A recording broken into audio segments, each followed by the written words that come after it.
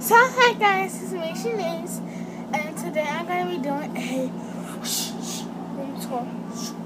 Room tour. And funny fact, I love stuffed animals, and I'm one thing I'm a really big fan of furry stuff.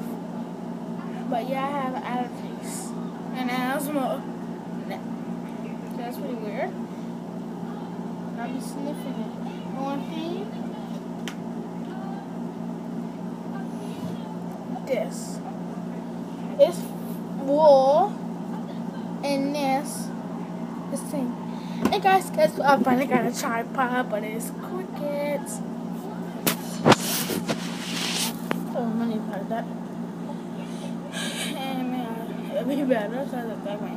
The little tripod's in this to a bit. Okay, let's get started. And stop talking about it. And this is in no way to brag at all. I will never brag because